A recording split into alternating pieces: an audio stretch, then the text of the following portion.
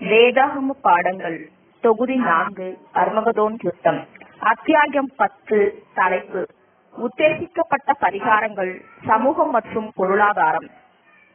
பக்கம் அறுநூற்று அறுபத்தி நான்கு முதல் அறுநூற்று அறுபத்தி ஒன்பது வரை. சகலத்தையும் பொதுவாய் வைத்து அவர்கள் அனுபவித்தார்கள் எனும் தலைப்பின் தொடர்ச்சி. இரண்டு. இந்த காலகட்டத்தில் கம்யூனிச முறைமையின் தோல்வியை அனுபவம் நிரூபிக்கிறது.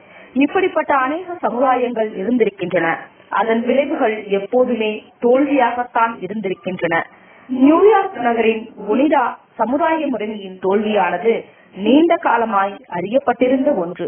மற்றொன்று பென்சில்வேனியாவின் சமுதாய முறைமையான ஹார்மோனி. இது அதனை தோற்றுவித்தவர்களுடைய நம்பிக்கையை வெகு விரைவிலேயே ஏமாற்றிவிட்டது. பிரிந்து போகும் அளவிற்கு முரண்பாடுகள் நிலவி இருந்தது பிட்ஸ்பர்க் அருகில் அமைந்திருந்த எக்னாமிக்ஸ் என்றொரு கிளை அமைக்கப்பட்டது. இது சிறிது காலம் தழைத்திருந்தது.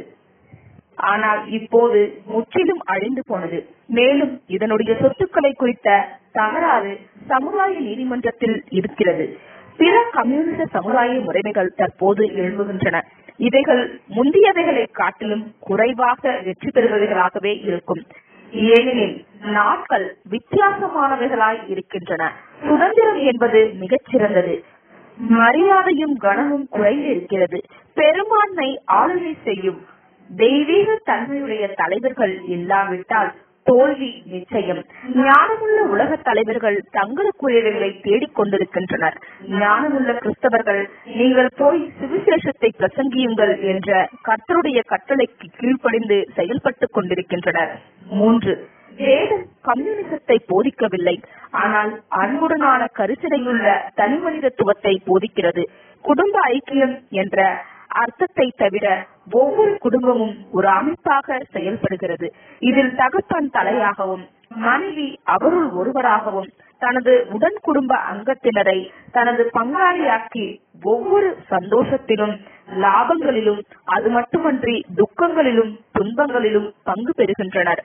மெய்யாகவே ஆதி சபையில் தேவன் ஒரு கம்யூனிச அமைப்பை அமைத்திருந்தார். இந்த கட்டுரையின் ஆரம்பத்தில் இது சுட்டிக்காட்டப்பட்டிருக்கிறது.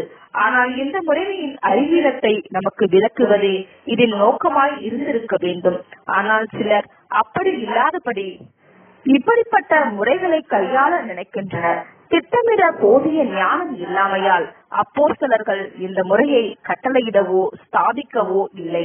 ஆகையால் இதை கைவிட வேண்டும். ஏனெனில் கம்யூனிச தத்துவங்களை பரிந்து பேசி நமது கர்த்தரோ அல்லது அப்போஸ்தலரோ ஒரு வார்த்தையையும் குறிப்பிட்டிருக்கவில்லை. ஆனால் அதற்கு எதிர்மாறானவைகளையே அதிகமாக குறிப்பிட்டிருந்திருக்க கூடும் உண்மையில் அப்போஸ்தலர் பேதிரு ஒருவேளை மற்ற அப்போஸ்தலரும் இந்த கம்யூனிச முறையை கற்றுக் கொடுக்காவிட்டாலும் கூட அந்த முதல் கம்யூனிசம் அடங்கிய அமைப்பை அறிந்தவராய் அதற்கு ஒத்துழைப்பை கொடுத்தவராய் இருந்தார். மேலும் அனனியா கபீராவின் மரணமானது விசுவாசிகளின் எல்லா பொருட்களுமே பொதுவில் கொடுக்கப்பட்டு விட வேண்டும் என்பதை குறிப்பிடுவதாகவே யூகிக்கப்படுகிறது. ஆனால் அது அப்படியல்ல. பேரு இந்த விஷயத்தை மறுபடி பரிசீலிப்பதிலிருந்து பொய் சொன்னதே அவர்களது பாவமாக இருந்தது என்பது தெரிகிறது. தங்களுக்குரிய நிலத்தை அவர்கள் நேர்மையான முறையில் பெற்றிருந்தால் அதை அவர்களே வைத்துக் கொண்டிருந்தால் அதில் எந்த தீங்கும் இல்லை. அதை அவர்கள் விற்ற போதும் கூட எந்த தீங்கும் நேரவில்லை. ஆனால் அதை விற்ற பணமானது மொத்தமும் அவர்களுக்கு உரியதல்லாத போது அதை தங்களுக்கே உரியது என்று தவறாக எடுத்து கூறியதுதான் அவர்களது தவறு. தங்களுக்குரிய எல்லாவற்றையும் கொடுக்காமல் தங்களுக்குரியவர்களின் பங்கை பெற்றுக் கொள்வதன் மூலம் பிறரை ஏமாற்ற அவர்கள் முயற்சி செய்தனர். உண்மை என்னவெனில் எருசலேமில் இருந்த கிறிஸ்தவ சமுதாயம் ஒரு தோல்வியே.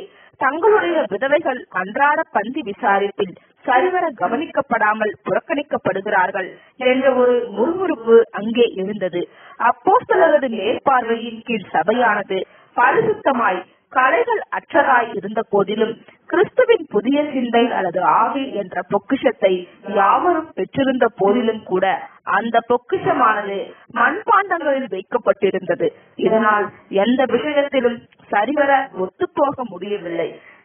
சபை மக்களை மேற்பார்வையிடும் இந்த பணியானது தங்களது உண்மையான பணியாகிய சுவிசேஷத்தை பிரசங்கிப்பதை பெருமளவில் பாதிக்கும் என்பதை அப்போஸ்தலர் மிக விரைவிலேயே கண்டு கொண்டனர் எனவே அந்த காரியங்களை பிறரிடம் விட்டுவிட்டனர்.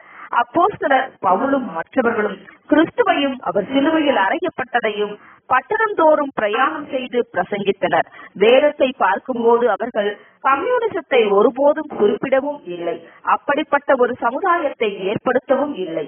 தேவனுடைய ஆலோசனையில் ஒன்றையும் நான் மறைத்து வைக்காமல் எல்லாவற்றையும் உங்களுக்கு அறிவித்தேன் என்று பவுல் அறிவிக்கிறார். கம்யூனிசம் என்பது சுவிசேஷ யுகத்தின் ஒரு பகுதி அல்ல என்பதையும் இந்த யுகத்திற்குரிய தேவ ஆலோசனையும் அல்ல என்பதையும் இது நிரூபிக்கிறது. ஆனால் அதற்கு மாறாக ஒரு கம்யூனிச சமுதாயத்தின் அங்கத்தினர் முற்றிலும் செய்யக்கூடாத காரியங்களை செய்யும்படி பவுல் கூறுகிறார். தன் சொந்த ஜனங்களை தாங்களே விசாரிக்க வேண்டும் என்றும் கர்த்தருடைய ஊழியத்திற்காக வாரத்தின் முதல் நாள் தோறும் தன் தன் வரவுக்கு தக்கதாக சேர்த்து வைக்க வேண்டும் என்றும் கர்த்தர் அவர்களுக்கு கூறியவைகளையே செய்யும்படி பரிசுத்த பவுல் சபைக்கு போதிக்கிறார். மேலும் எஜமானரும் கூட கிறிஸ்துவுக்குள்ளான சகோதரராய் இருப்பாரே ஆகில் இப்படிப்பட்ட நல்லெண்ணத்தோடு தங்களுடைய எஜமானருக்கு ஊழியக்காரர்கள் கீழ்ப்படிபவர்களாக கிறிஸ்து என்னும் மேன்மையான எஜமானருக்கு அவர்களும் கணக்கு ஒப்புவிக்க வேண்டியவர்களாய் இருக்கிறபடியால் எஜமானர்களும் வேலைக்காரருக்கு செய்ய வேண்டியதை செய்வார்களாக என்றும் கூறுகிறார்.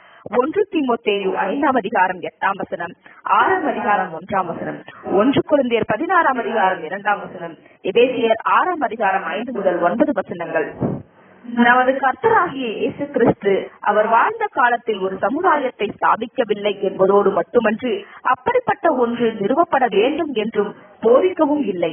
ஆனால் அதற்கு மாறாக தன்னுடைய ஓமைகளில் எல்லோருமே ஒரே அளவான ராத்தல்களையோ அல்லது தாழ்ந்துகளையோ பெற்றிருக்கவில்லை. ஆனால் ஒவ்வொருவரும் ஒரு உக்கிரானக்காரரே. எனவே தனிப்பட்ட முறையில் ஒரு கூட்டாக அல்ல தனிப்பட்ட முறையில் தன் தன் காரியங்களை நிர்வகித்து தனது சொந்த கணக்கை ஒப்புவிக்க வேண்டும் என்று கற்றுக் கொடுத்தார். மத்திய இருபத்தி ஐந்தாம் அதிகாரம் பதினான்கு முதல் இருபத்தி எட்டு வசனங்கள் லூக்கா பத்தொன்பதாம் அதிகாரம் பனிரெண்டு முதல் இருபத்தி நான்கு வசனங்கள் யாக்கோப்பு நான்காம் அதிகாரம் பதிமூன்று பதினைந்து வசனங்களை பார்க்கவும். நமது கர்த்தர் மறிக்கும் போதும் கூட தன்னுடைய சீஷன் யோவானிடம் தன் தாயை கவனித்துக் கொள்ளும்படி கட்டளையிட்டார்.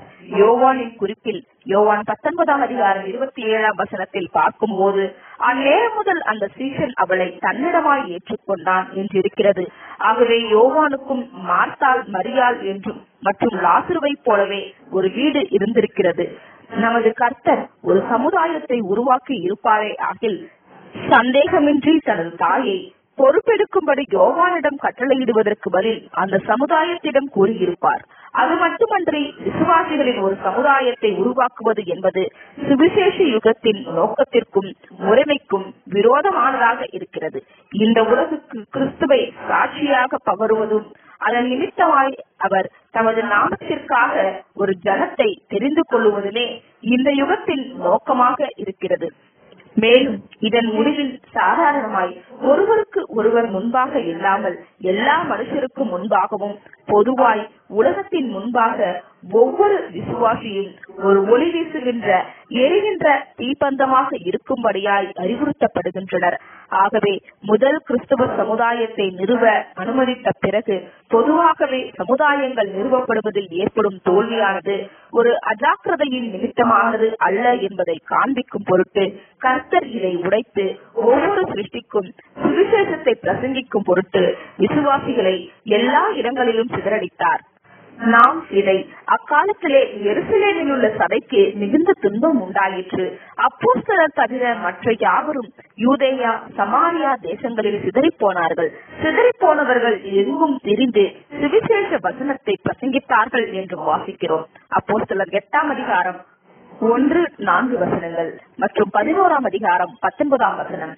இந்த உலகத்தின் மத்தியில் விளக்குகளாய் பிரகாசிப்பது தேவனுடைய ஜனத்தின் வேலையாகவே இன்னும் இருக்கிறதே தவிர மடங்களிலோ ஆசிரமங்களிலோ அல்லது சமுதாயங்களாகவோ தங்களை மூடி மறைத்துக் கொள்வதற்காக அல்ல.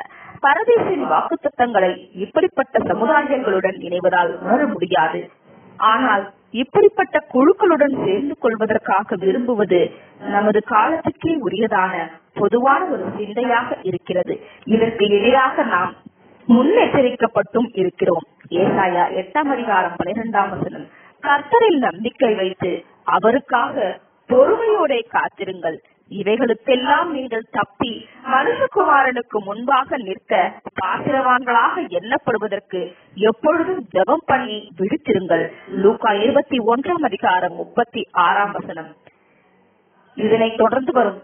அராஜகம் ஒரு பரிகாரம் எனும் தலைப்பின் கீழ் வருபவற்றை பக்கம் அறுநூற்று அறுபத்தி ஒன்பது முதல் அடுத்த பாகத்தில் காணலாம். ஆமே